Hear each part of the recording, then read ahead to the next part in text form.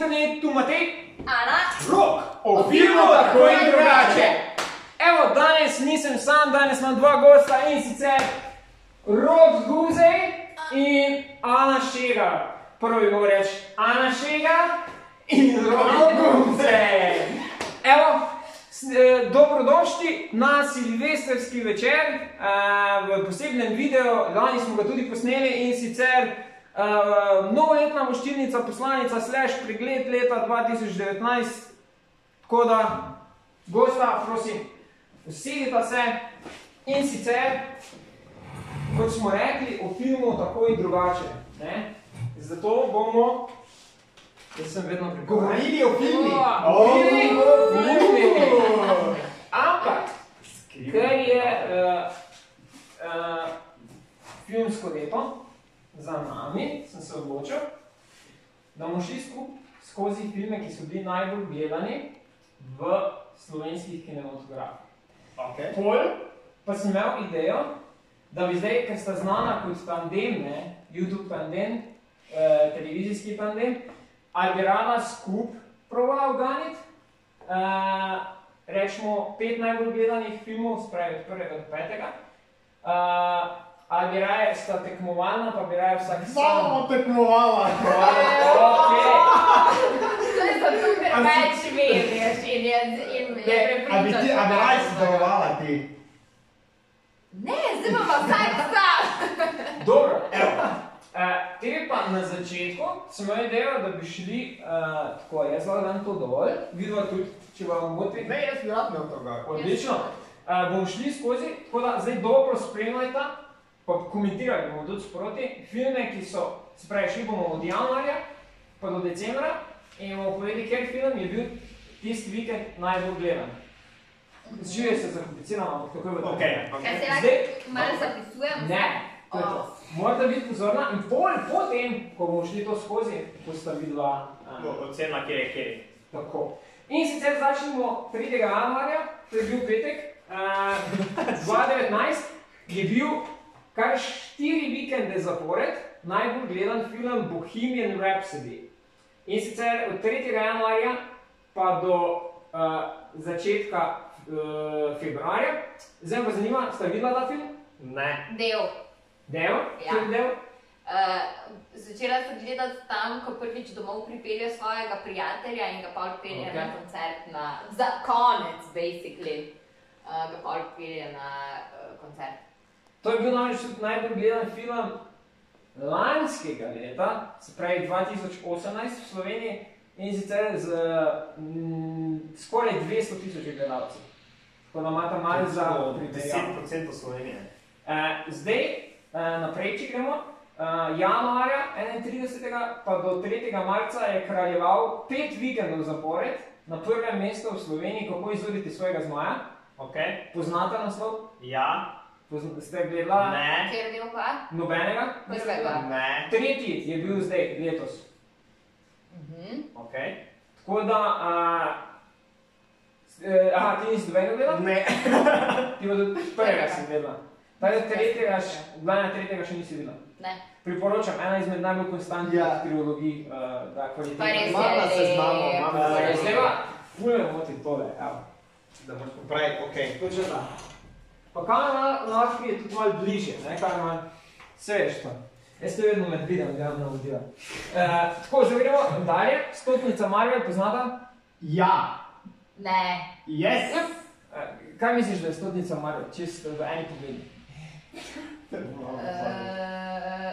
ne, super junakinja. Super, evo, odlično. Gledal kdo od vas? Yes, to je bil, mislim, da prvi in edini Marvel film, brez ki ga nisem gledal. Ok. Uh, zdaj gremo naprej. Uh, potem niso več bilo takih dolgih. Koliko časa je bil? Aha, tri vikende zapored. Okay. In potem pa ni več bilo tako dolgih kraljevanj na lestvici in so se, z- to so zdaj samo en vikend kraljevali. Se pravi, Dumbo je bil naslednji najbolj gledan film, vikend, en vikend. Potem naslednji vikend je bil to še Zem. Mhm. Uh, Dumbo, da vam nisem vprašal, ker verjetno oba poznata. Še Zem, Ne. si znate, kaj začeti s to besedo? Vemo, kaj še zem. A, vete, Vemo, kaj. zdaj rok O, povedal. o, o, o, to je, to je poskus. To je poskus DC-ja, da bi prišel na, uh, uh, ne, na, na iste dobičkonosne uh, uh, cifre kot Marvel. In, Ja, zelo, uh, in uh, celo vredo poskus. No, Ok, super, to je film videl. Uh, ne. ne, ne, ne, sem ga pa spremljal zelo, ampak mi pa ni bil, uh, ni mi pa to potegnil. Zdaj. Sem pa iz revijev gledam, pa iz trailerov se mi zdi, da je, grejo v bolj pravo smer, kot pa za tem dark, grejo bolj v to light-hearted. Uh, zdaj bomo šli naprej. Uh, Mači pokopališče, Grozljivka. odlično. Je tudi en vikend krajevala. Po Mačem pokopališču je bil film After. A kdo odvaja? Ja, a kdo odvaja ugane, kako je bil slovenski naslov? Sprej, angliški naslov je bil After, to so take. Uh, Potem. Ni bilo zile. Ok. Ne bi nas spraševal, če bi bilo potem. uh, rok, Uh, zgodilo se je na to. prvič. Uh, pač govori o, o, o govori, uh, ja, film uh, je posnet po knjigah uh, teh, uh, moče dvodvaj se spomni izraza, ker je bil ta Twilight, pa 50 tenkov sive, kaj se reče tem knjigam že? Meni je šlo iz glave. To je nek subžanr knjig. Uh, ne, ja, mislim, če je. Se, ja, kaj tudi no, prvič, se to, na to namiguje naslov filma. Aha, ok. okay. Tako. Uh, Ah. Ampak se- vseeno najbolj genijalen prevod slovenskega na- naslova, na, slovenski prevod uh, naslova uh, filma pa je rok. Uh, Blades of Glory, moče veš, kak je bil slovenski. Ja, čakaj, kaj je bilo, neke full bad je bilo. Uh, bilo je, uh, čak, moče bo Ana poskušala, bilo je tako bad, da so mogli na plakat na spletnih straneh, pa praktično vse publikacije narediti zvezdico, pa zraven napisati v slovarju slovenskega knjižnega jezika, ta beseda pomeni to pa to. Tako je bilo bad. A res? Čakaj, kaj je bilo neke jajca, ko so imeli neke. Ne, še hujše. Neke, Uh, neke, še hujše, danes bomo, neki innuendo je bil, ne? Neke... danes bomo delali veliko stvari, tako da vam bom jaz izdal, da imamo časa za prav in sicer fafajva skupaj. Blades, Blades of Glory je angliški naslov, fafajva skupaj pa slovenski. In kaj zdaj, zakaj? Tako? Blades of Glory je film o, o drsanju na ledu in sicer slovenski izraz za drsanje, določen gib na ledu pa je fafanje. To je slovarje slovenskega knjižnega jezika. Tako da. Kot zanimivost. Gremo dalje. Potem so Koliko bili... časa je bil ta? Ne, to sem pogledal. Sem fun fact. aha, Fun okej, fact. Tako. Zdaj gremo na maščevalce, ki so kraljevali od aprila 25. do 12. maja, in ti ne tako dolgo, tri vikenda zapored sam. Uh, bi rada kako maščevalci rekla, a so že vsi se povedali. Ključek, nečesa, pa gremo dalje. To, uh, maj, 16. maj do 2. juni, prevarantke, uh, tri vikende zapored tudi. Sta slišala za film? Uh, ja, žena od Bob Burnhama ga je delala, pa on je podpiral, jo, pri tem film pa nisem gledal. Ti veš vse v zvezi s filmom? ja, malo filmo gledam, ja. Tako, uh, gremo dalje. Junijo smo že, 6. juni do 23. juni, skrivno življenje hišnih ljubljenčkov, DOS, uh, tri vikende zapored. Vsi so bili po tri vikende. Uh, jaz, tako, Ja. veliko je bilo tri Če vikende. slediš vedu, vidiš, da ne. In to shranjuj v, Ja, to v svoj, uh, ja. kaj je hardware ali software? V svojem spominu.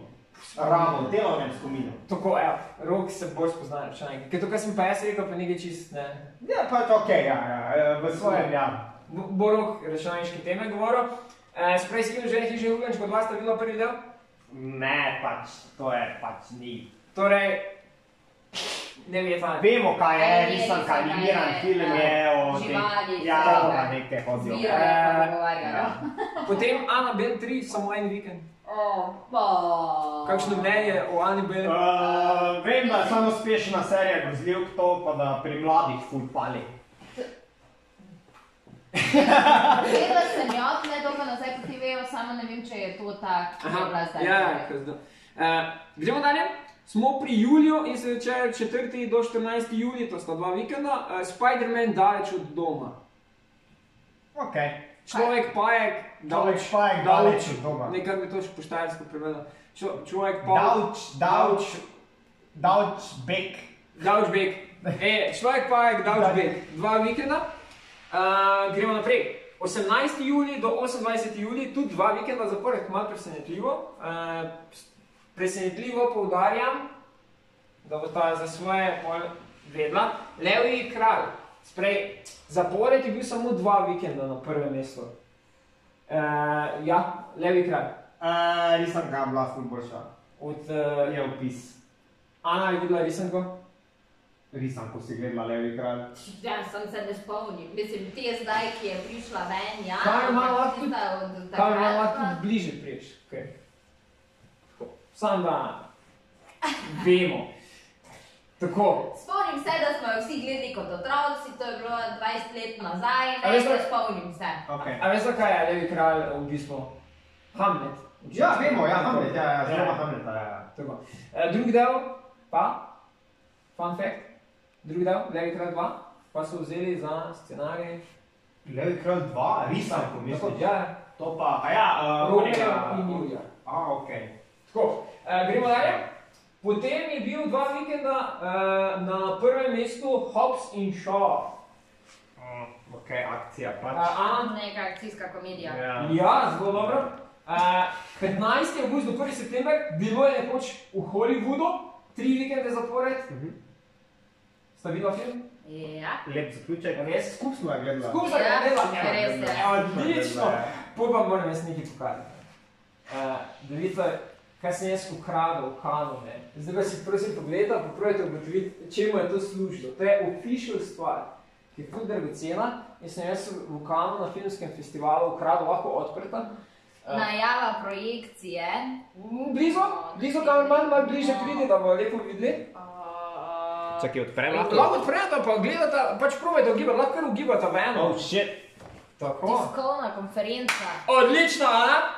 To je uraden razpored tiskovne konference. Lahko pogledate točno, kje je sedel Quentin Tarantino, kje je sedel fucking Brad Pitt. Oh, God. In Leonardo DiCaprio in vprašanja oziroma okvirni Aha, to je pa potek sedeli so tu, tiskovne ja. To si, konference. ko Ko si jaz ti ukradel, po koncu, po koncu tiskovne konference so ukradli, da je bilo nekoč Hollywood. In še za parazita sem isto naredil. Tu še imate pa napisano, gor, kdo je moderiral, tu pa je Didier.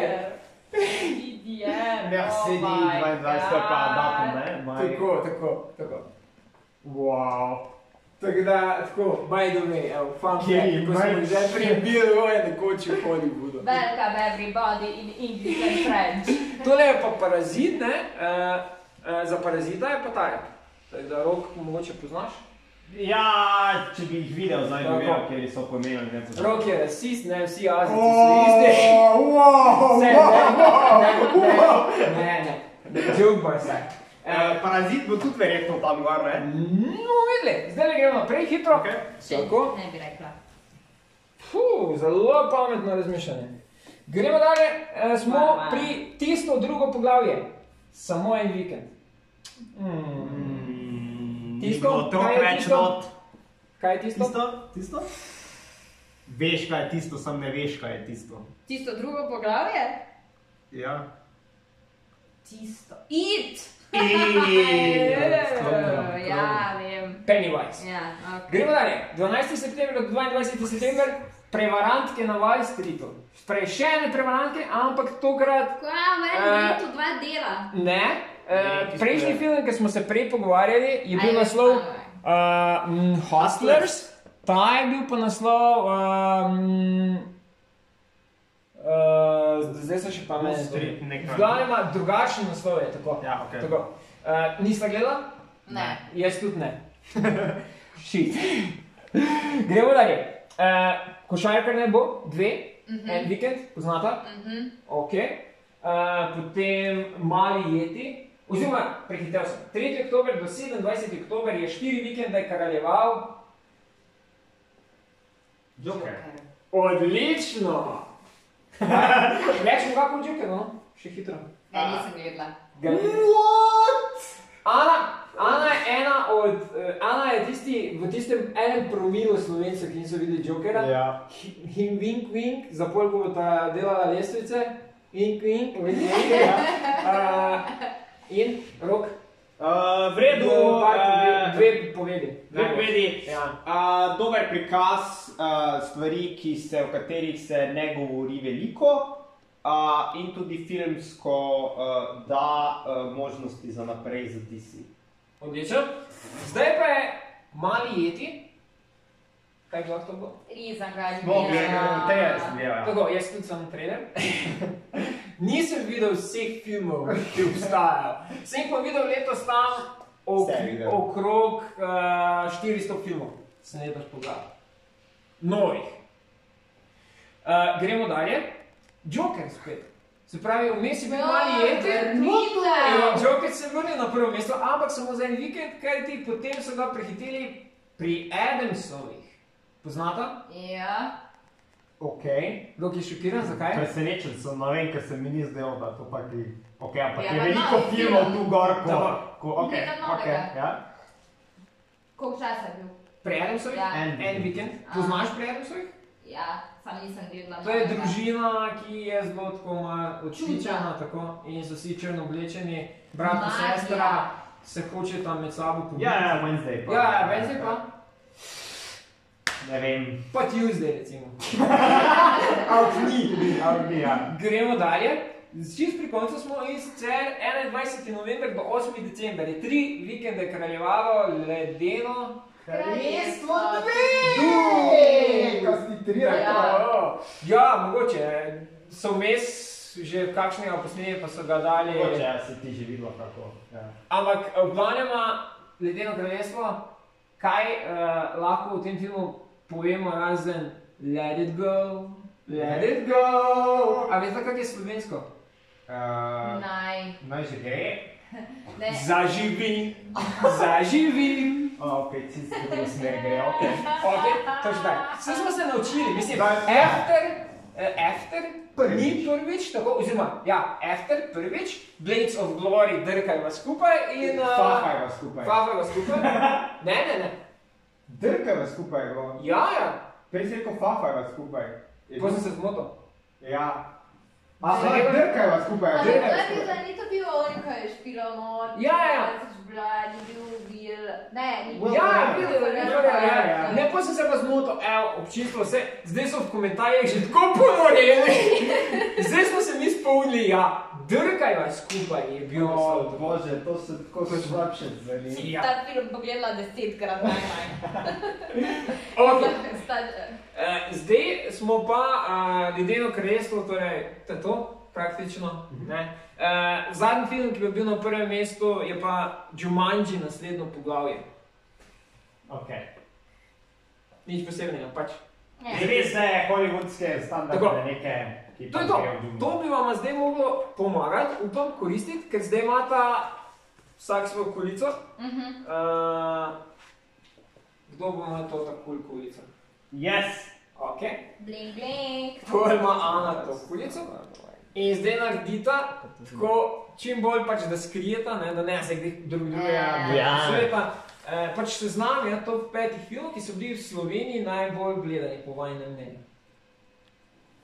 Se pravi, prvo, drugo, ne, ne, ne, eh, to jo vklopiš, pol pa. Ja, sem že, sem že. ja, ne. Se pravi, prvo mesto, drugo mesto, tretjo, četrto, pa peto samo. Pa ne rabite niti celih naslov pisati, lahko tako napišete, ne vem, ledeno kraljestvo, ne ta Um, Čak, lahko nekaj sem vprašan. lahko. Ti si rekel, da je Bohemian Rhapsody bil letos. Uh, ja, prve tri. Ne, ne povedati, samo to, ni, Ja. bil, ni bil Rocketman, ni bil to, da sem da ta dva ne Uh, zavedam. Rocketman ni bil nikoli na Ok, prvem to sem mislil, ok. Ampak sem vam pa tudi, sem vam pa tudi povedal, da Bohemian Rhapsody že lani naredil 200 tisoč gledalcev. Tako da malo to v obzir vzemi.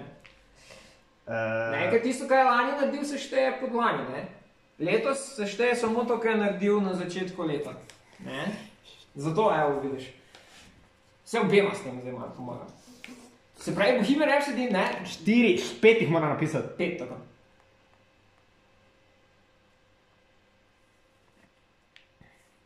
Ne, ni ne. Čakaj. Kako sem lahko jaz zamenjal, zdaj vmes, ko imamo delati. Tisti naslov, Pa ima skupaj, da je skupaj totalno. Internet je ponorjal zdaj pod videom že. Kaj pa vi mislite, kje so bili top 5 najbolj gledanih filmov napišite pod komentarje. Preden mi dva dokončava seznam. Tako. Si se sploh ne spomnim, jaz se Ja, nekaj pet filmov ne jaz se spomnim, jaz pet filmov. Ne, Petih napišite, tako je, bolj za zabave, tako je. Kaj drugega pa, da smo leto malo pokomentirali. Uh, o ja, valjda so bili Jozusa, to mora res menjati, Jezus.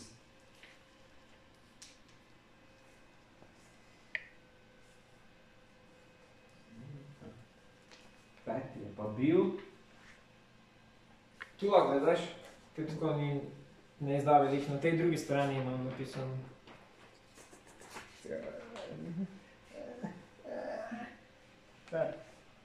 Mm, Malo na hitro tako če da. ja, ne. Ne, raka je bil to za To ram, to ni, seveda. Imamo, Sta. Imamo. Ne, ni mama.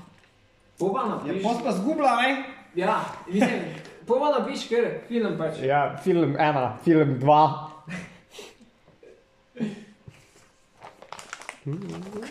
Da je vas zagledaš, ne pa, pa tam Ana vidi, ne? Kaj si To je zdaj ne- Videla sem. Ok, zato zdaj končamo. Samo bi menjala, ne bi. Ne, menjala zdaj. Ok, ja.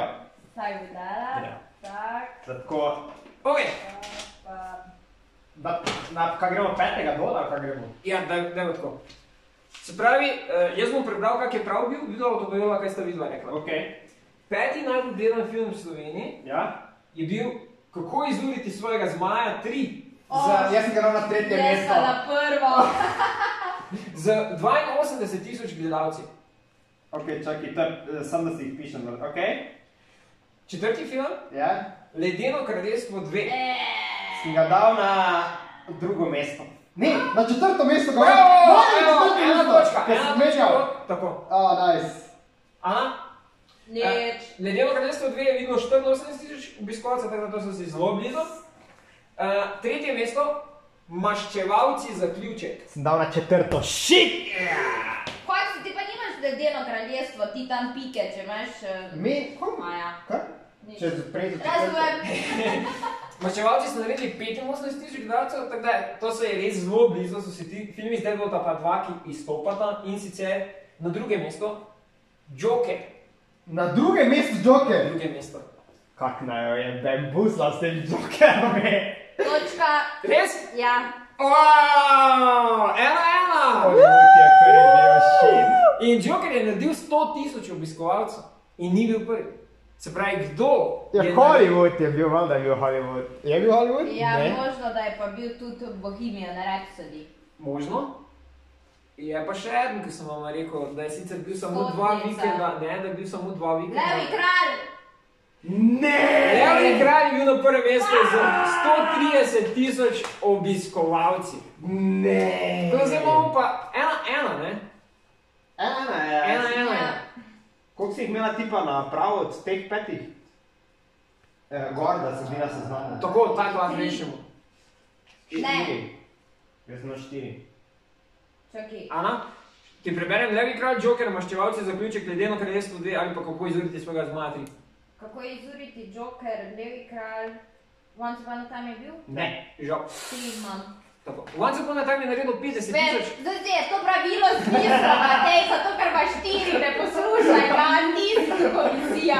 Ja, lahko pa tako rešimo. Lahko rešimo, da probata oba oganjati, koliko eh, po svetu je najbolj gledan, vsi vemo, maščevalci, ne?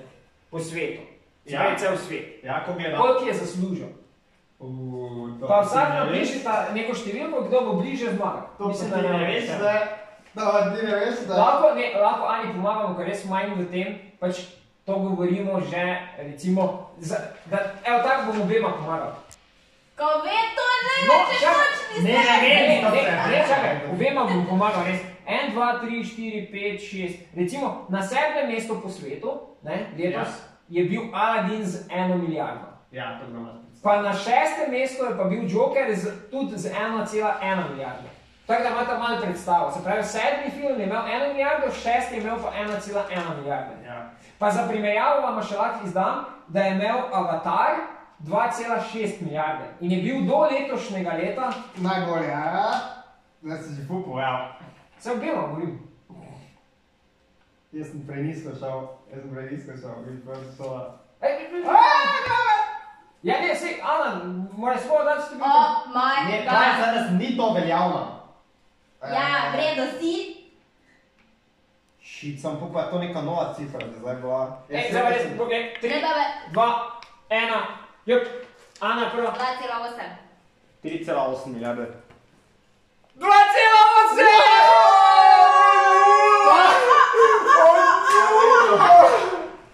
Ne, Jaz na zadnje, ko sem spremljal, je bilo, Ana, bravo, Ana.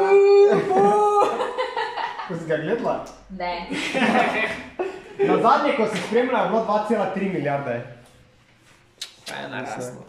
Tako, evo, to je to, pregledali smo leto, uh, najbolj gledane filme, mogoče še sam video dodata, filme, ki, niso, bili, ki jih nismo omenili, pa se vam ne zdijo vredni omembe. Miraj, super. Definitivno, ja, pa Beats. Beats, Beats. se pravi ri- ritem, kako se Ritem udarcev. Ritem udarcev. Uh, še kak film? Mogoče serija, rok gleda full serij, bi priporočil kako serijo. Watchmen je cool, The Boys je cool, uh, Fleabag, Fleabag full priporočam. Uh, igra kako? Atlanta, valjda, igra to Uh. Ne, da ne naštevaj, 3, 4, 5. Red Dead Redemption, ne vem, res to je cool. Uh, mi čakamo na Cyberpunk 2020 A. naslednje leto. Si bila na kakšnem koncertu? Jaz hodim jazz poslušati live, tako da to mi najbolj paše. Uh, knjigo kako prebrala? Splača Uh, povedati. kako kradi, kradi kot umetnik. Uh, kak je album? Uh, ne, ne, ne, A, ne, ne. Film Vera, Miraj. Miraj. Ok, mislim, da smo vredno zaključili ta prvi del. Zdaj pa, uh, kar tu še počakata in sicer videla imata svojo oddajo. To že zdaj skoraj dve leti. Dve Dve leti. sezoni, ja. Dela predstaviti uh, koncept oddaje. Tako na kratko. Mislim, razloži tako, kje lahko vidijo, kaj Torej, delate. uh, oddajo lahko pogledate na najnem YouTube kanalu, uh, na Rokana, tam so objavljene vse epizode iz druge sezone. Prva sezona je pa v arhivu RTV Slovenija. Torej, kaj je RTV arhiv v Google napišete, pa najdete. Tako. Ko pa oddaj se reče čisto zares, v oddaje hodimo po Sloveniji do mladih, um, tako zanimivih mladih ljudi, ki radi nekaj počnejo in skupaj z, njima, z njimi mi dva v bistvu gremo čez en ali dva projektna dneva, ker oni nekaj ustvarijo. Ali je to kuharska stvar, ali je to projekt za skaterje, ali je to modna revija, ali Delanje je to stripa, risanje stripa, kuhanje, ja, ali je startup projekt, preživetje v naravi. te ful nore stvari. No, in zdaj sta tako rekoč čist za res pravi televizijski zvezdnik.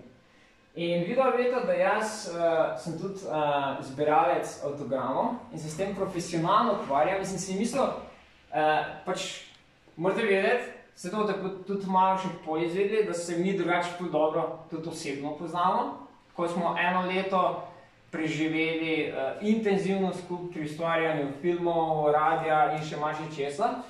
In uh, se čutim dolžnega, da vam naučim, kako se dati pravi avtogram.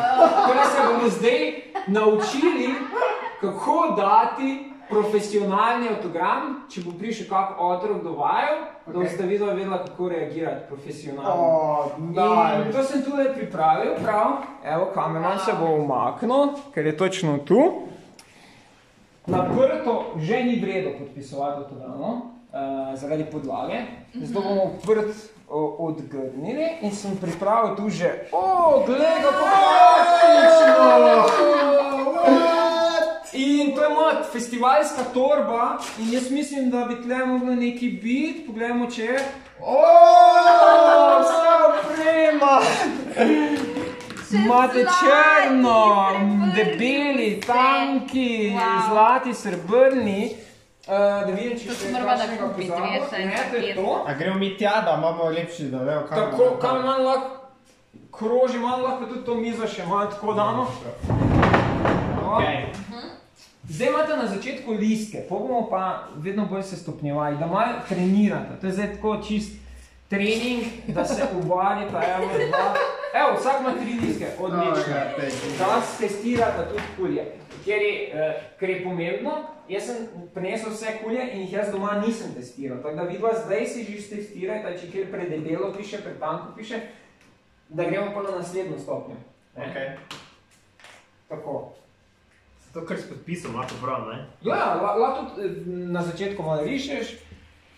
Zdaj testirate. Moče kako drugo bar, a bi ti bi rad pa prav Ti si, zlato.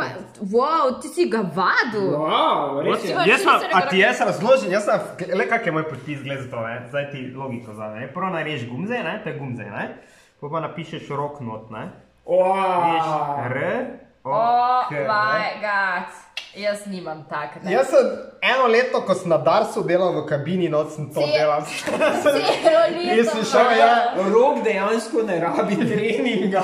ne, in sem, Eno leto, eno sem- leto treninga, daj mi in gospodje. sem, in sem tam testiral in sem tam iskal svoj podpis, no, in sem probal veš in sem iteracije in imam tako doma popisan en cel zvezek samo podpisal.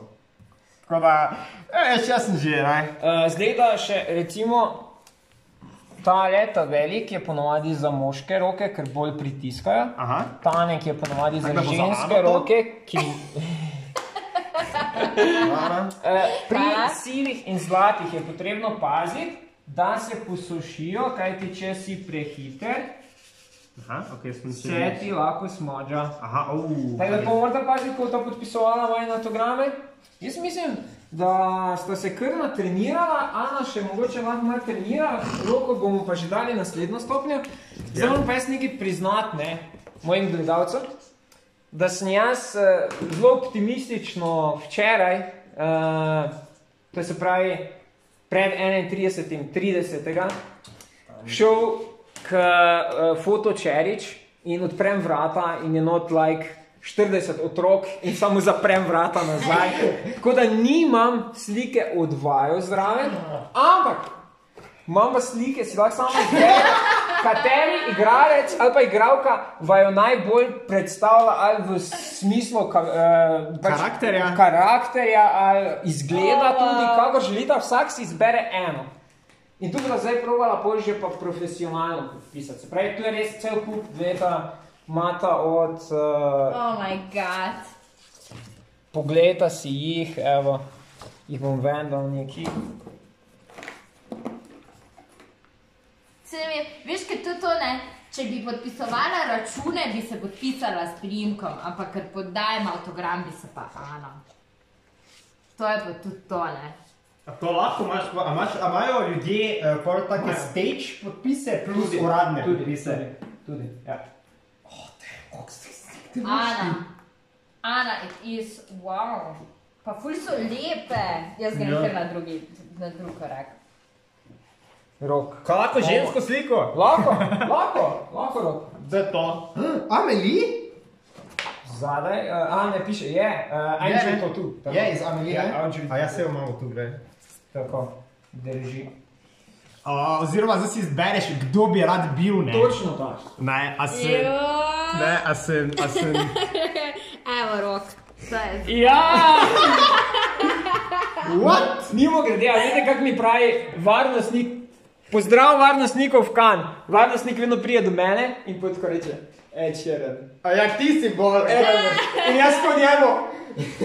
Opa, Ed Sheeran. Samo zato, ker imaš rdečkasto brado, še nisi podoben Ed Sheeranu.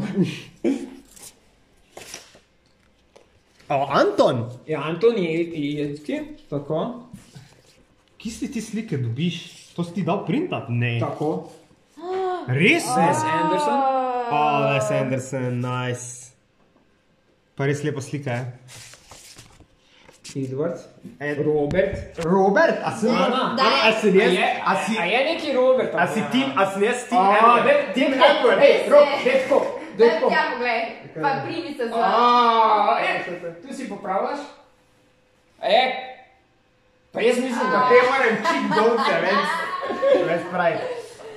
Ok, uh, še imamo kaj na hit. Maggie Gyllenhaal. Iz filma, ki ga nisem gledal, pa ne iz katerega je filma je. sestra, a kdo najde njenega brata? A kdo najde njenega brata? Ne, Jake Gyllenhaal. Re- A, pa res, To pa je. Maggie Gyllenhaal. O, gled to. Natural Born Killers. To je Nisem gledal. Nat je pa, ne, Natural Born Killers. Ja. To? Ja, Jake Gyllenhaal, evo, brat in sestra. Bravo, Ana. Gledi to, ne? Zgolj na ključje. Princesa Lea. Ana. Čak, da se jaz malo. A, Han Solo. Kaj, te punce na en kupno. Koliko ima, a nama boš dal time limit, da bo bolj Ja, napeto? malo, malo. Boš dal štoparco? Pohiteli, ker še to ni zadnji podpis, to je zdaj vajen. Ne, to še... Per Ja, oh, shit, Še uh... en podpis bo tam mogel zad.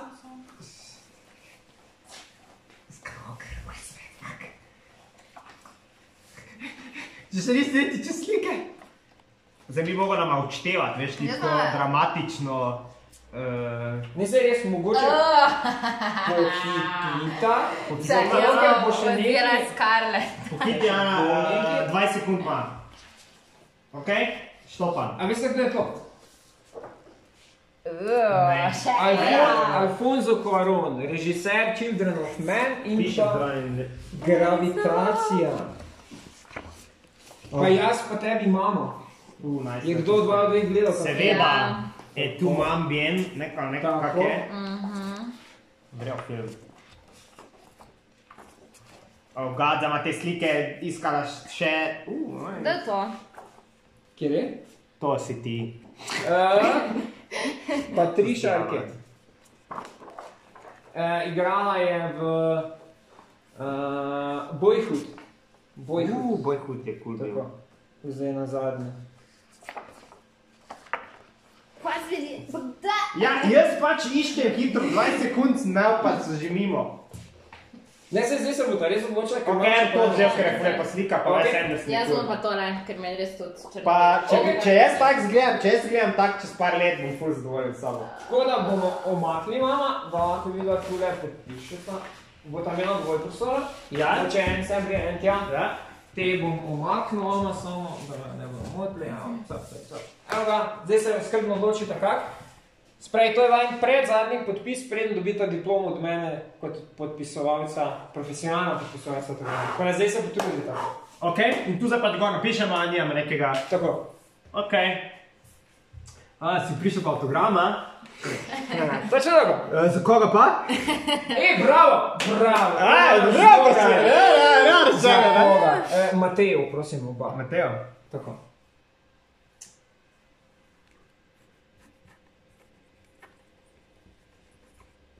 Uh, that's with the J. Je. A ti si angliš? Wow. Ja, uh, moram reči, da Ana je, zdaj ne bi te rad užal, ampak tako kot uh, izbrala je boljše uh, pozicijo, to bomo tudi prej videli. Se pravi, njen se malce lepše, pa bolj razločno vidi, če bi ga recimo okviril ne, in dal na, na, na strop. Je pri tem malo problem, ne? sicer če prideš dovolj blizu, pa potem Kameri, kameri. Tako, če prideš dovolj blizu, se vidi lep podpis. Uh, ampak pač nadalje se pa Anin bolj vidi. Tako da rajši. Barva je tudi napačna, To se ti hotel zdaj srebrno. naprej govoriti. ne. Eh, Izbrala je pozicijo boljšo in še barvo za svojo sliko, zato sta pomenila na izbor. Ampak nista še zasrala, ker to je zdaj bilo samo pred zadnje. Uh, jaz sem pol se vseeno, pač slik nisem dobil, sem se pa vseeno potrudil in sem našel tole. In sicer v eni, in sicer v eni je v, v fokusu rob, bolj fokusu, no, Ja. v drugi pa Ana. Ne? In zdaj pač na tisti, ki je Ana, pa na tisti, ki je rok, se zdaj, zdaj pa to je pa finalno. Zdaj se pa potrudi izbrati pravo pisalo. To si v Ednini, zdaj mi rekel. Potrudi Zdaj se potrudite izbrati pravo pisalo in pravo pozicijo, kajti to je vaš zadnji preizkus, preden postanete profesionalna. Za pomoč vam lahko pokažem par primerov iz teh slik. In sicer, uh, evo, Mihajla, pozicija dobra, barva dobra. Erik, kaj tu se naučimo, učenca? Svetlo barvo. Ne najboljša pozicija in ne Izbor. najboljša izbira barve. Kje bi recimo ga ti tu naredil? Jaz bi ga tu naredil s čist drugo barvo in sicer sivo Bradi. na brado. točno. Zelo lepo spade, siva na brado, izjemno. Res. Uh, tako da, no, tu imate par primerov, moče še ta. Kak komentar? Ne, v redu, ok, jaz sem ready. No, Poče sta redi, Si črno vzela, ne? izberita barvo. Ja, kaj, če pa ona črno, lahko. Lahko ti tu črno vzameš, okay, pa počakaš, da ona naredi, okay, se Okej, se ne ne, Pa ne bom gledal. Ne, ne, zdaj? Ok. A ja samo To zdaj. na moje čelo, Ne, ne? ne, gledaj, na krme je črna. Ej, črna ni prava izbira, čutim tu, jaz sem šel sivo. Edin, uh, čak ta, ja. To, čak, to, tako je Ana naredila, to lahko narediš. Vedno probaš, preden podpišeš. Uh, mislim, v, v pravem življenju težko potegni par črt. Če evo, no, če daš stvar da- štima, da- ne, tako, ja. ker imaš dve sivi, ne, kira ti lepše piše za to. Evo, viš, ta je bolj razmazana kot ta, ne vidiš, da je ta bolj pocasta, tako da se sam Bolj podločiš. tekoča. Tako, ta je še bolj tekoča, ona manj tekoča. Okay. To, to je čisto na tebi zdaj. Tako.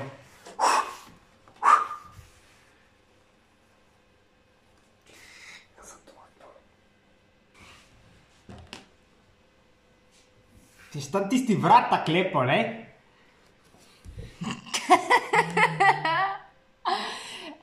Samo me A malo. lahko eno vprašanje, Minto? Lahko, lahko, lahko. A je, važno, a je mora biti podpis nekje, da je jasno vezan, na osebo vezan na sliki? A veš, če si Ne, naprej ne, na ne, njo... eh, lahko konter tudi Razumem, to radi to. delajo uh, igralci celo. Da se drug na drug, mislim, da Razumem, se ja, ja, ja, ja, podpiše tako na se- Ben Affleck, a Ben Affleck pa na... Na mene se boš, ne? Tudi ti dva križa nauči naredila. Re, moram komentirati, odlična izbora pozicije, pa odlična izbora uh, pisaja v primerjavi z... Za prej, ne? z prej res... Uh, uh, Z prejšnjim... Tako Pre, je. ja, ja, ja, ja. Dosti bolj izrazito nadarec se vidi, če je osvetljeno celo v wow. Ne. Tako da, evo, A Mateo, nisem pa, jo, pa Mateo, nisem visel. in Ana, do, s- vseeno, dober izbor pozicije, imela si... Več v spodnjem kotu. Veš, kaj če bi to on v okvir dal, ne? Imela si, Dal bi prilepo bi sliko na črno podlago. imela Okej. si malce težje delo od uh, roka, uh, moram priznati, uh, tule, uh, ja, no pa se je isto. V glavnem, Ana je res, če bi rok. Zdaj moram, Zdaj moraš izbrati Ja. zmagovalca. to bo težko, res. Ker se brem, pri prvi je absolutno zmagala Ana. Pri drugi pa mislim, da je Rok. Pa rok, se in zdaj imam to dilemo. smo Ja. rekli, ja. Pavel pa biškarje. Uh, ne, bomo tako rekli, uh, da sta oba, uh, čestitam. Zdaj lahko si podpisujemo. profesionalni, Oho, oho. profesionalec avtogramov, čestitam, zdaj naprej si hvala. profesionalni. Ko pa smo že pri avtogramih, pa sem rekel, da bomo tudi še nekaj rekli, kak se mi poznamo, pa imam jaz eno darilo, kot se spodobi, danes je Silvester, eh, se pravi, darila nosi danes dedek mraz otroci. Sta že že cela, tudi vama. Božič že mimo, Božič je. Tako, kako sta se imela za božič? Vrela, najedel sem se ful. Eh, kakšno je bilo vreme pri vas? Uh, malo je bilo, tako lahko je bilo bolj božično, ampak dovolj božično. Ja, za mene je bilo presenetljivo, da je bilo tako toplo. Ok, no zdaj pa.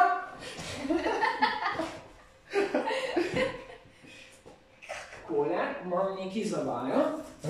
In sicer, če bi začel z Ano najprej. Ana se bo tega spomnila, Ana se bo tega spomnila, ker res ima povezavo med nama in bom tudi razložil. Evo, to je an education oziroma v slovenščini šola za življenje. Jaz sem pomogel kupiti hrvaški DVD, ker preden sem šel v Be- Berlin, nikjer ni bilo slovenske. Sem hrvaški naslov je Sve o jedni devojci. In uh, ni bilo slovenske izdaje, in sem bil primoran kupiti hrvaškega, ampak sem ti podobil gor avtogram od uh, Petra Sasgarda, glavnega igralca, pa od režiserke Leon Sefring, uh, to je režiserka. Uh, Peter Sasgard je pa uh, tukaj in poglej, kako sem se slikal. s prstom, da vidiš, da ti je res odpisa. Certifikat imaš zraven. Tako. In uh, tole je en del darila, zdaj pa da za Ano razložimo, ne? Ana, na kaj te to spomni. Uh, jaz bi samo dal istočnico. Tole uh, so včasih na novinarskih oglednih projekcijah delili profesionalnim novinarjem. In mogoče Ana nadaljuje. Uh, ro, Matej me je enkrat prespravil na eno to novinarsko projekcijo Veš, da bo? s tretjem letnikom srednje šole. Torej smo šla na informativne dneve. Dopoldne na film. Pa pa na fakse. Tako. In uh, tole bo uh, staro, februarja. Deset let. Bo deset let. Februarja naslednje leto bo deset let. Lahko vidim. Uh, tako da, uh, to še pa drug del, ponovadi dajo tudi za podpisati uh, režiserjem scenarije, to, tako da jaz bi te prosil, mi tole za spomin podpišeš, tebi bo Oh pa za spomin ostal DVD s podpisom. Oh Je pa God. ponudba, velja še naprej, ko- naslednjič vem, da bi lahko srečal uh, Alfreda Molino ali pa recimo Kerry Mulligan, bom te poklical, boš prinesla DVD in bom jaz ti probal, skratka, naj dolgoročni plan je, da dobimo gor, tako da se ti vsi podpišejo na en lep spomin, na en lep dan, ki smo ga preživeli skupaj. Uh, tako da tu mi se boš podpisala še. Uh, bi še pa zraven, še pa dobiš, zraven še pa dobiš tole, je pa odmiraj Pressbook, ki jih dejansko ful malo bilo natisnjenih, uh, uh, not pa s posvetilom, uh, sicer ne od režiserja, ampak od mene, uh, pač povezano s filmom, videla bosta vedela, uh, kaj pomeni, ker sta uh, film videla in vam je bil všeč, tako kot meni. Uh, tako da, ja, za spomin, da vse lepe stvari, ki smo jih preživeli skupaj, uh, se pravi, uh, tu le pa te bi prosil za podpis, uh, ti boš hranila. Ja, ti boš, ti boš hranila DVD, ti boš hranila DVD, jaz bom pa hranil to in bomo se tako oba spominjala uh, naših novih dogodivščin. Se bom zlato, ker je več kot zlato, sicer vreden bil ta dan v vseh pogledih. Rada bi ti napisala eno posebno posvetilo. Tako da zdaj se bom sam podpisala, Tako, pa pod, pa bom pa dodala. odlično. Da grem jaz na roka. Ne? Zdaj pa, Oh, God.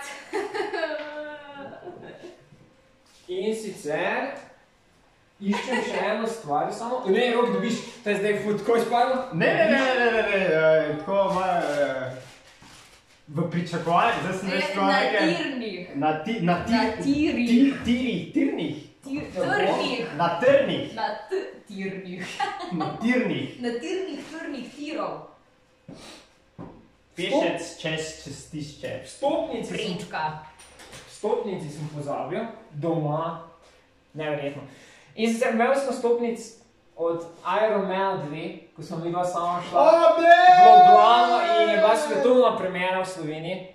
In sem v stopnici hranil in sta dve in sem hotel ti, da bi... Da imam, Da bi nimam več druge. Ne, jaz sem obe, ne vem zakaj. Zakaj si ti obe? Ja, Ker če bi jaz imel drugo, Ja. bi definitivno, ker imam vse stopnice shranjene. In, in čakaj, mogoče še lahko pogledam. Glavno, jaz, sem si- jaz sem bil 100% da sem te stopnici vzel s seboj, ampak Glej, vemo, da sta. Tako. In, vemo, da se, in je bilo, kul je bil tisti dan, zato ker smo, poča- ker tedaj še ni bilo to ful običajno, da so imeli ti super fi- hero moviesi scene na koncu, in smo po se kredicih. smo čakali do konca in smo se fucking pojela dvorana že skoraj prazna. Pa nismo, a je možno, da sem jaz bila takrat Ne, Ne, zraven? ker smo reči samo, ker je dvorana bila on prazna in smo se mi dva, ko je Toro ukladil, pokazali. Smo se Ja. mi dva tako zadrla, ko je, da smo To je bilo zadela. ja, ker, ker še ni bilo to tedaj taka stvar, to Tako. ni bilo zdaj več ful običajno. To za In narod. jaz sem pol ful poskušal dobiti na Iron Man 2 DVD podpise, ampak mi ni uspelo. Sem pa, Okej. ker te poznam. Sem pa vzel en drug film, ki mislim, da ti je zelo všeč in sem ti tudi začel tako kot Ani. Začel, bomo nadaljevali, Okej, tako se je okej. prijateljstvo nadaljevalo. In sicer čudoviti lisjak. O, In Mr. Fox, oh si my god. sem ti že podpis od uh, Jasona Schwartzmana, ki je tudi uh, scenarist, ko-scenarist z Wes Andersonom, in pa Willema Defoe, ki igra tisto podgano, ki je eden izmed. Ne, in ki sem ga jaz zdaj ne vidiš, da sem ga vzel tam. Tako. Ne. In tudi Vesa, ki bomo še probali dobiti gor, eh, Meryl Streep, George Clooney, tako da mi, enako kot pri Ani, je ponudba, da ostaja Ongoing. tako, kot jaz, ko vem, da bom srečal Bilomerja, te pokličem, daš DVD, te dobimo tako. Tako da, tu je načrt, da dobimo vse, tu je načrt, da dobimo vse. Iron Man 2 sem imel zraven, eh, imel sem priložnost in sicer eh, eh, tale, m, ko je bil Bad Guy v Iron Man 2, mm, V dve, Ja. ki je bil ovi. ko je bil Justin Hartman. Uh, ne on ta mišičasti, ampak on, ki je bil dobrin samo. Uh, igral je ja. v trije plakati pred mestom tudi. Sam Rockwell. Okay, Sam ja, Rockwell ja. sem srečal, uh, ampak ni bilo Ni priložnosti. bilo, ni, nisi ujel, Ja, ni, nista se. Ampak mislim, da si s tem tudi. To je fantastično. Posebej, če bo Mr. res uspelo dodati še Andersona, pa Ja, mogoče še Clooneyja, pa Murrayja. Pač vzel sem ga, ne, a veš, je poznen. ne. In uh, tudi tebi, Miraj za spomin, ker smo uh, Tu smo jo videla, v tem kinu smo z Amo videla Miraj drugače Tako. letos. In uh, Kaj pa imam je? tudi nekaj, kar smo videla bila. A si spomniš tega? Milo z rokom smo videla tudi To na ogledni projekciji. Ja. Tri mesece pred pravim Smo gledali štartom Inception. smo gledali Inception v Kolseju v Ljubljani. Wow. In paste, to nisem jaz zdaj natisnil, ne? To Da so ne, oni, mislim, ja. to so, to A si ti veš, Veš, da da jaz to Ali- imam? A, Jaz to imam. To je manjše, to še imam jaz hranjeno. Točno ta In list. da bi tudi prosil, da se podpišeš, tako da jaz bom imel tu spomin, ti boš imel DVD, na katerem nice. bomo zbirali uh, podpise naprej. Opa. Ker jaz še imam posebej mapa. je bila Mapa tako- pa zraven, Jaz imam lepa mapa. Ja, za Inception, logotip. In eh, jaz pa karte in vozovnico od uh, železniškega vlaka še zdaj hranim, ampak se pravi, karti ne vem, kje imam, ful mi je žal, moče bomo pol najti. Uh, ampak skratka, imel, imam dve Ironman karti in sem hotel, da bi tu simbolično pretrgal, da imamo vsak eno na ta super uh, dan. Uh, tako da tole, jaz se ti podpišem. Tako. Ko pa smo že pri avtogramih, pa ma, bomo naredili Aha, smo se tudi eno, tiger bo eh, nagradno igro in sicer mi bomo video, link do videa se bo objavil tudi na strani od narokana, ne? Tako je, Facebook stran narokana. Tako. In vaša naloga bo, da v to objavo, v komentarje, napišete eno stvar, ki ste si jo najbolj zapomnili v zadnjih desetih letih. Deset let? Ja? Lahko, deset, mislim, sej, lahko je Ker je zdaj zgodilo. Aba, Ja. ja, deset, Deset, ja. deset, ker Ker deset je še kar Ker premalo. zaključujemo to Deset, desetletje. pa mogoče, če želite, lahko še dodate najboljši film. zadnjih deset. 2019, vaš najljubši film. Ali pa zadnjih deset let. Zadnjih deset let. Tako. Eto Okay, to. se pravi, vaša naloga je, da greste na najno Facebook stran narokana, poiščete fotko nas treh in v komentarju napišete eno stvar, ki se vam je zgodila v zadnjih desetih letih in se vam je najbolj vtisnila v spomin, pa lahko napišete Tako, tudi en želite. film, Ja. ki vam je bil pa res the best. Zamenoma pa dobi nekdo, uh, lahko izbirate in sicer med štirimi stvarmi, uh, lahko si izberete DVD Tintin in njegove posteljščine uh, s podpisom glavnega igralca Tintina osebno, Jamie Bella. Ko smo že pri dokaznem gradivu, evo ga, Jamie Bell, takole, Dokaznega gradiva ne dobite. tako, evo, tule vidite Aha, tu je. Uh, pisalo. ja. Tako da uh, lahko izberete to, ki je dober film, kako Ja, že. prav, Tintin je bil zelo zabaven film, Tako. čakam na dvojko. Tega sam Tako. bomo naredili display. Tako. Potem lahko izbirate med uh, kožo, v kateri živim, ali The Skin I Live In od Pedra Almovedovarja in sicer Pedro, zelo lep podpis, tole je iskana. To je res lep podpis. Tako, lahko dodamo. Odličen film. Potem imamo, uh, potem imamo pa še večna ljubimca, ki pa vsebuje takrat dva podpisa in sicer režiserja in scenarista Jima Jarmusha in pa glavne igralke Tilde Swinton. Ko? Ali pa, To je res vesel. Kako je tako? ali pa, ali pa bolj za ali pa bolj za ljubitelje znanstvene fantastike, komercialnega filma, pa film Serenity, Bitka za prihodnost. To je film uh, od serije Firefly. Firefly, podpisal se je pa Chilton Edgefor, uh, evo ga. Uh, zakaj sem pa izbral te filme? Bi še rad povedal, ker so vsi ti, ki so se podpisali, zmag, po mojem mnenju, zmagovalci letošnjega leta. In sicer, če gremo k Chifetu Edgeforju, on je letos posnel svoj režijski prvenec, The Boy Who. Se ti spomniš mogoče? Mm. Ne, sem naslov pozabil. Ne, um, ko je tisti fantek, ki je zgradil za svojo vas. Uh, Uh, veternico ja, v Afriki. ja. Kak je že? Ne vem, kak je se- naslov, ampak vem, sem znan film. Ja. V glavnem, ali moče lahko rok prova poiskati naslov? Če bi da, Edgefor, E, J, E, J, R, se piše. naprej. Mi gremo naprej, za druge vem. Uh, Jamie Bell je letos posnel tako skin, se pravi kožo, vrhunski film, kot tudi Rocketmana, prav tako super film. Tako da Jamie Bell, to je njegovo leto. Pedro Almodovar se je letos vrnil z bolečina in slava, je kdo dva od dveh The mogoče boy who harnessed the wind. The Boy Who Harnessed the Wind je prvenec Čifeta Edgeforja in priporočam ogled vsem. Je pa zagral tudi v Levem kralju, ki je drugi najdobičkonosnejši film letošnjega leta, tako da absolutni zmagovalec, kot smo rekli, Pedro je naredil bolečino in slava, je kdo dva dveh videl. Vrhunska semi-autobiografska drama, eh, v kateri je zagral kdo drug kot Antonio Banderas, eh, kot Pedro. Okay. Tako, uh, zakaj pa je zmagovalec tudi Tilda Swinton, ker je zagrala v fucking najbolj gledanem filmu vseh časov, Maščevalci. Endgame. Tako, zaključek. Zelo, kje je bilo?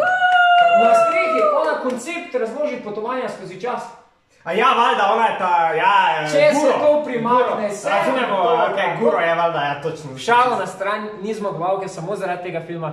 Posnela še je skupaj s svojo hčerko, uh, uh, b, uh, Honor, Honor Brian uh, Swinton, lepo ime, Honor, ne. Uh, je posnela tudi spominek, The Souvenir, je kdo ujel na Lifu? Ne. ne, jaz sem bil na svetovni premjeri, skupaj s Tildo.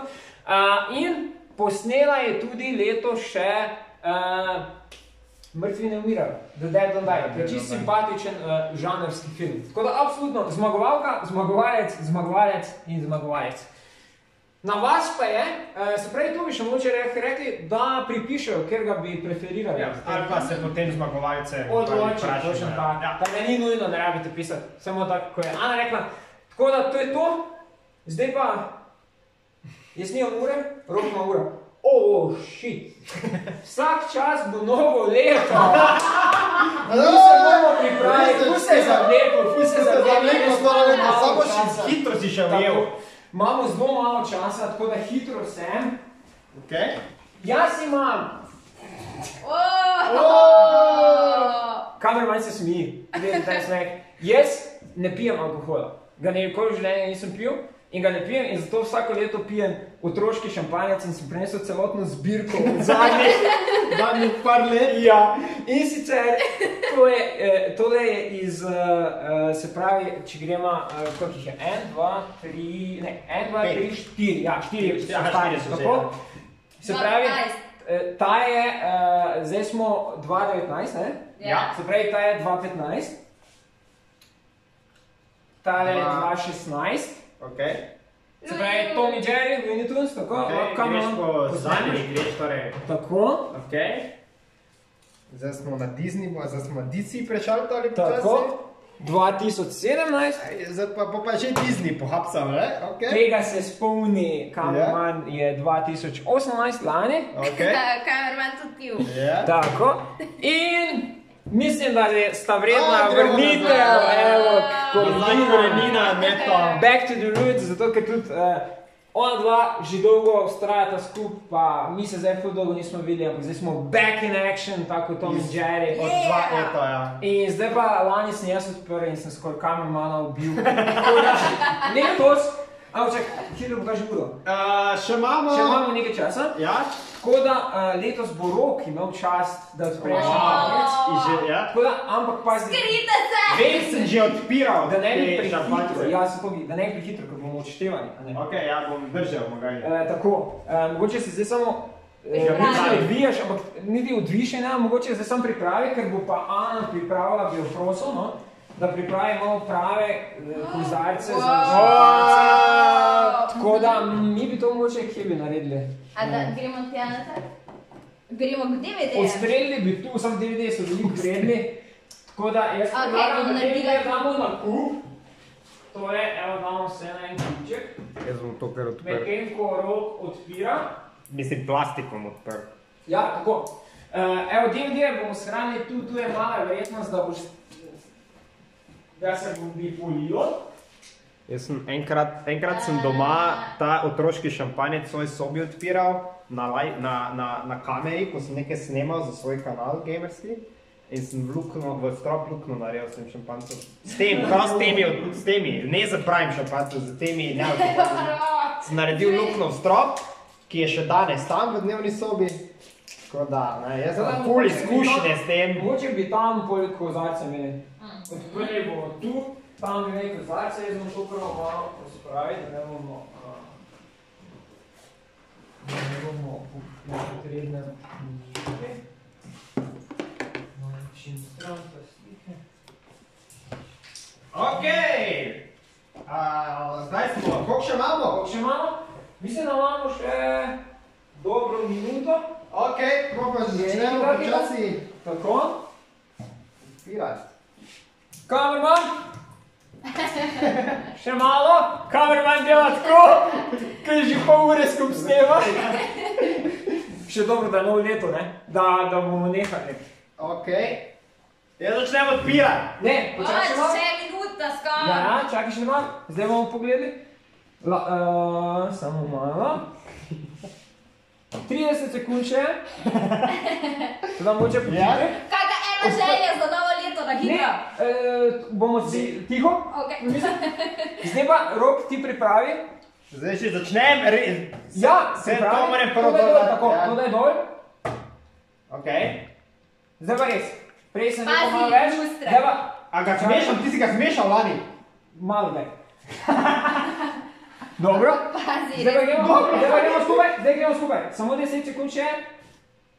9, 8, 7, 6, 5, 4, 3, 2,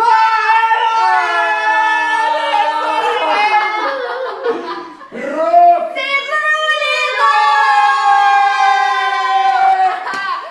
Evo, temu se reče ekonomično odpiranje šampanjca, niti kapljica ni šla čez rok. Bravo! Bravo, rok! Sem. Bil, ne, Eno čakaj. sekundo prehiter, ampak veš, kako pravijo. Bolje biti prehiter, kot prepozno. Tako,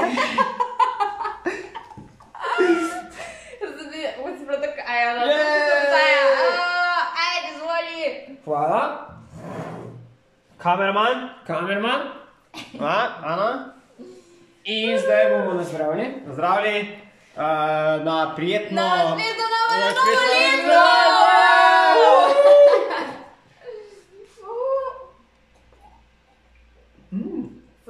Ful je so dobri, ti, Ja, ti šampanjci so res sok dobri. je. Mislim, da je sok, ne? Ne? Ja, ja, ja. Ja, neki, neki, Ja. ja, ja, party, party drink. Tako? Alkohol. Kamerman ne pred, spit, ker še moš video dokončati.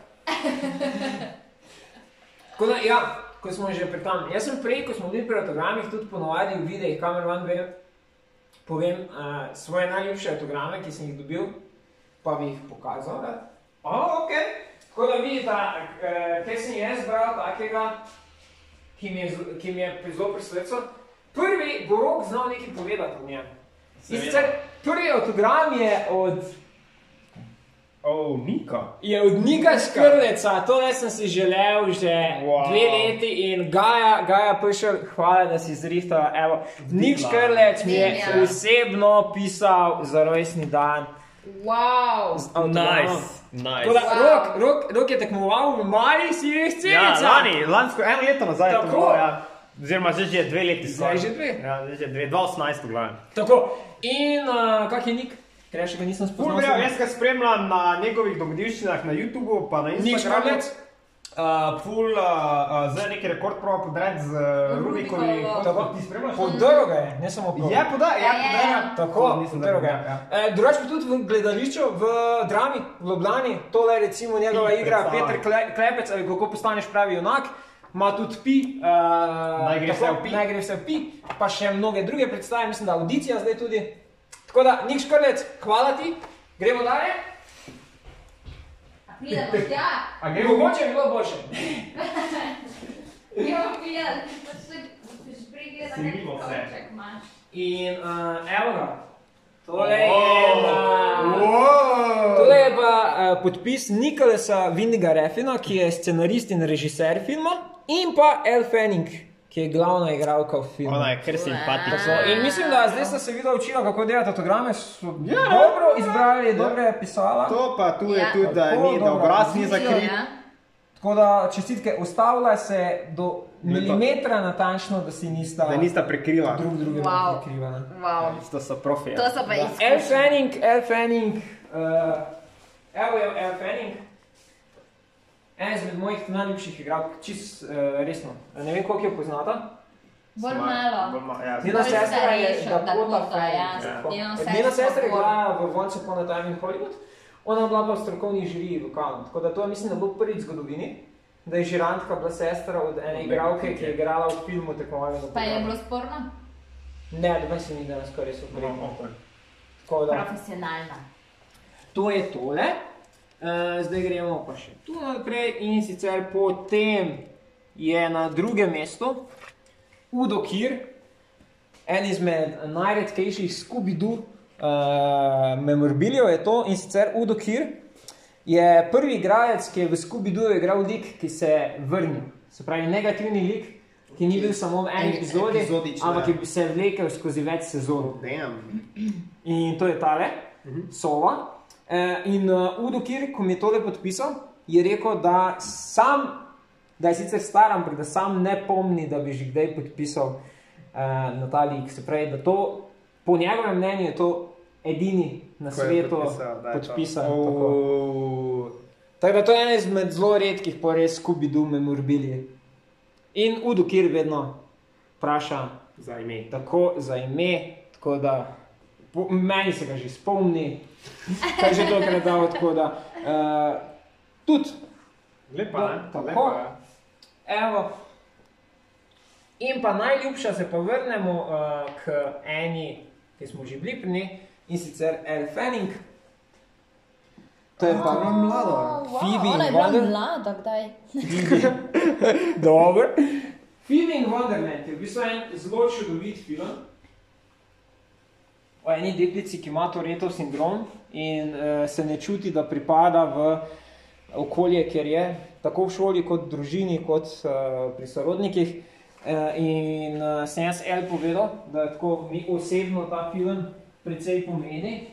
Uh, in je potem, ko smo se drugič srečali, še enkrat, uh, ker mi je prvič pozabila napisati posvetilo, uh, mi je dodala še posvetilo, ki sicer ni najboljše izbrala, ko smo se učili, ampak če pogledaš Je. proti svetlobi, mm -hmm. se Je, vseeno ne vidi in Matej, zelo ja. lepo izpisano Matej. Uh, tako da, uh, bila je tema, ko je pisala, če bi vedela, da bo tako zdelo, bi verjetno tu napisala. Ampak vseeno, tam je emocionalno največ pomeni, kot rečeno, bil v dveh delih sestavljen. Najprej mi je podpisala samo to, potem smo se pa pogovarjali tekom festivala in sem povedal, koliko mi ta film pomeni.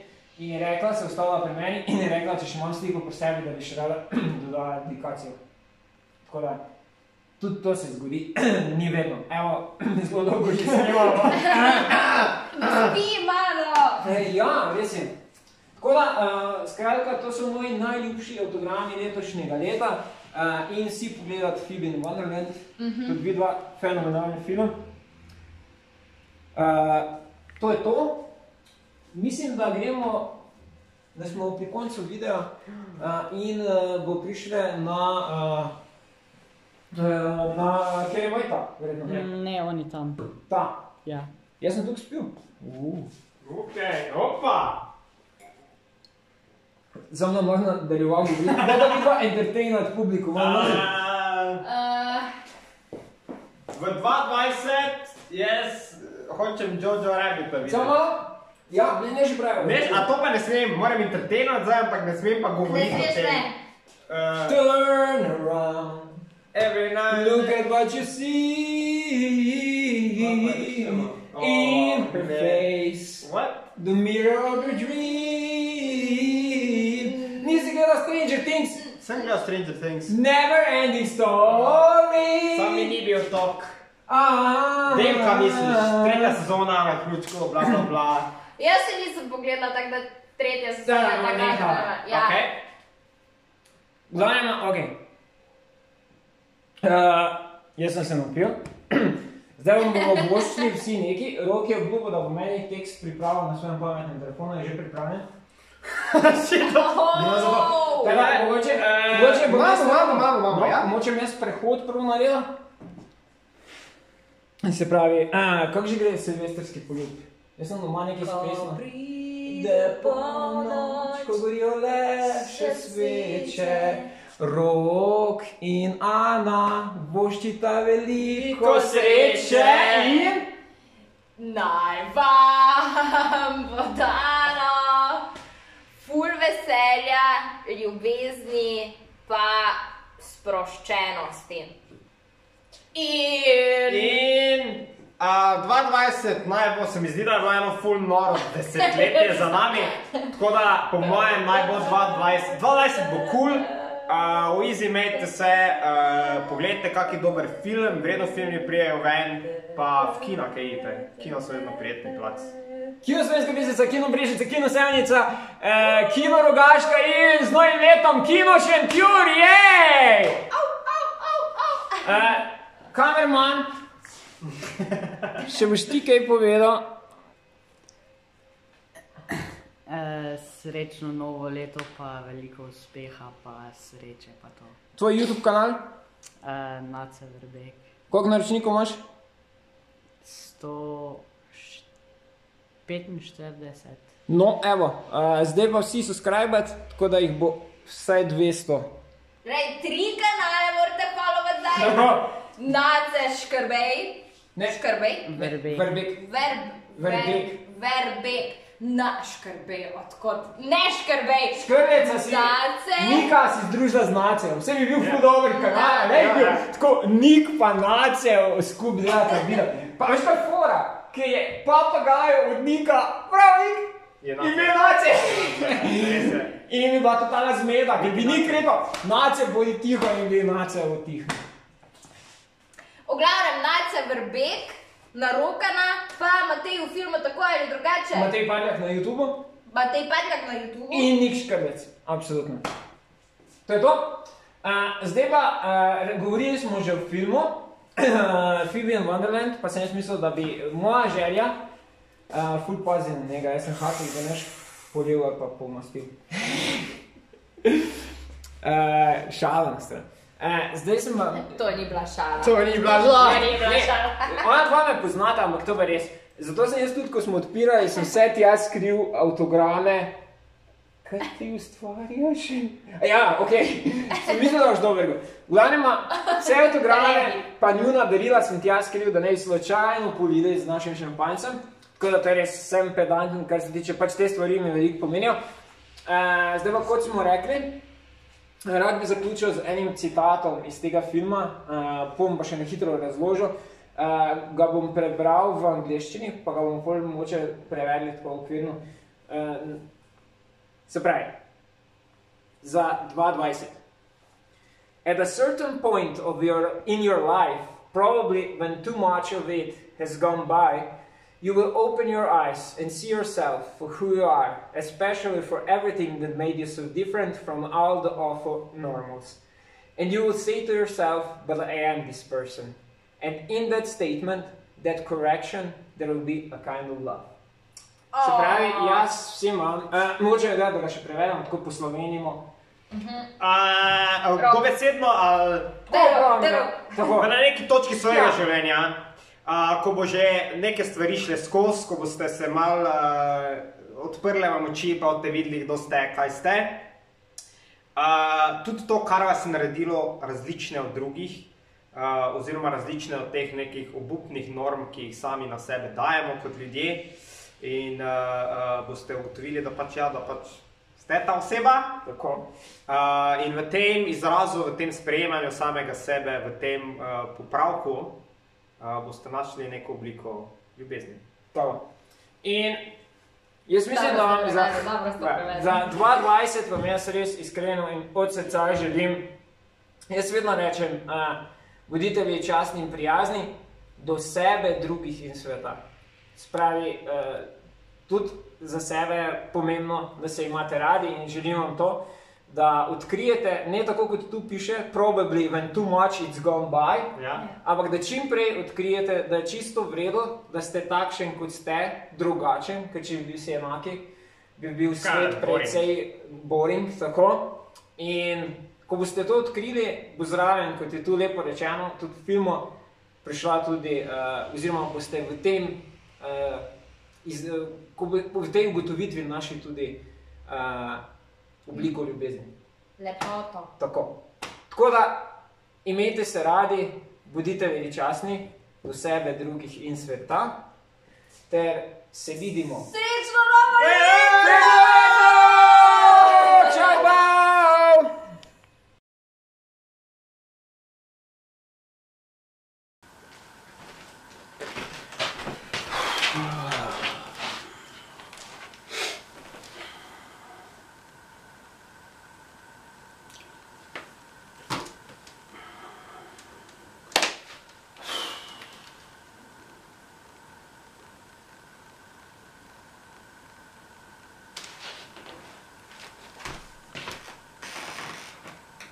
A ja, vi ste še zmer tukaj. Šova je konc. Pete domov. Ne, resno, to je to. Ker pete.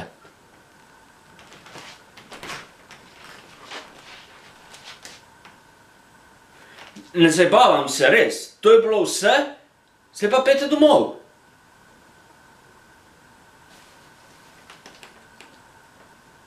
Ok, ok, dobro. Okay. Bom jaz najprej šel, pogrete pa še vi, ok?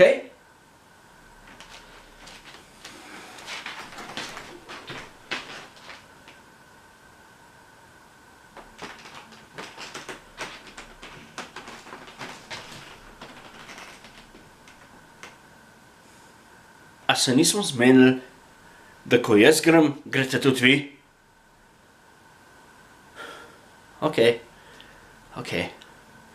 Zdaj pa grem, pa me nov več nazaj. Vi pa tudi pejte. Ne resno pejte.